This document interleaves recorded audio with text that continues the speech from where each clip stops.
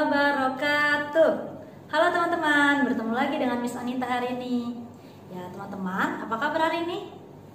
Ya semoga kalian semua selalu dalam keadaan sehat walafiat ya Amin Ya teman-teman, jangan tinggalkan sholat lima waktu dengan sholat sunnah duhanya ya Oke, sebelum memulai pembelajaran hari ini, alangkah baiknya kita baca basmalah bersama yuk. Bismillahirrahmanirrahim. Oke teman-teman, 5 dikali 8 sama dengan ya 40. Lalu 7 dikali 9 sama dengan Oke benar 63. Ya hari ini Miss Nita akan menjelaskan tema 4 tentang perkalian ratusan dengan satuan. Yuk kita simak bersama.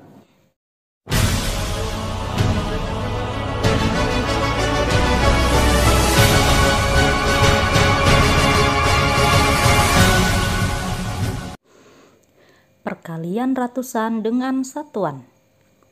Contoh soal pertama. Ibu membeli 372 buah apel. Ayah membeli buah apel 8 kali lebih banyak dari ibu. Oke teman-teman, kita lihat soalnya. Yang pertama itu ibu membeli 372 buah apel. Lalu ayah membeli 8 kali lebih banyak dari yang ibu beli.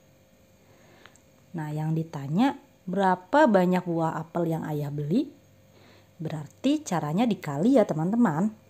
372 dikali 8. Oke, hasilnya berapa ya? Yang dikerjakan jangan lupa dari angka yang paling belakang, angka satuannya. 2 dikali 8. Hasilnya Ya benar. 16 berarti yang ditaruh di bawah angka 8 angka? Oke benar angka 6 Yang disimpan angka 1 Lanjut 7 dikali 8 Hasilnya? Oke benar. 56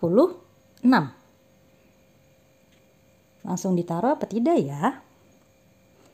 Jangan lupa ada yang disimpan angka 1 di atas angka 7 berarti hasilnya 56 ditambah 1 57. Ditaruh angka 7 disimpan angka 5. Lalu yang terakhir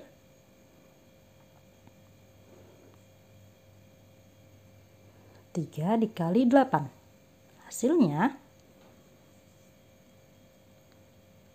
oke benar 24 jangan lupa ditambah 5 jadi ya 29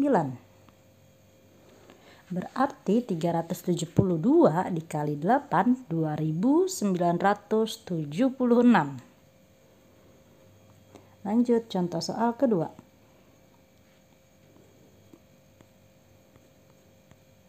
dua ratus tiga puluh lima dikali enam hasilnya 5 dikali 6 30 ditaruh angka 0 disimpan angka 3 6 dikali 3 berapa ya teman-teman?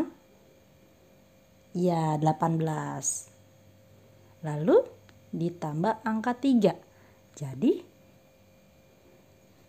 yep 21 ditaruh angka 1 di bawah 3 disimpan angka 2 yang terakhir 6 dikali 2. 12 ditambah 2 jadi ya 14. Oke, nomor 2 lanjut. 136 dikali 9. 9 dikali 6 Oke, benar 54. 9 dikali 3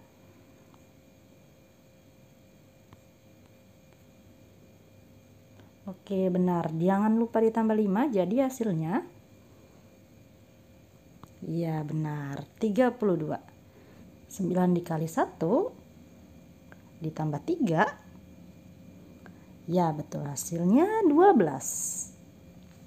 Oke, sudah mengerti ya teman-teman dari contoh 3 soal yang sudah Miss jelaskan. Sekarang kita lanjut latihan ya. ada empat soal.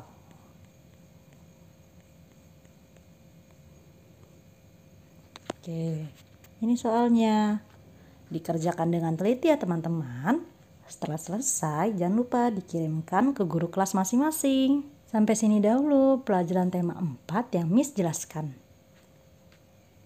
Wassalamualaikum warahmatullahi wabarakatuh.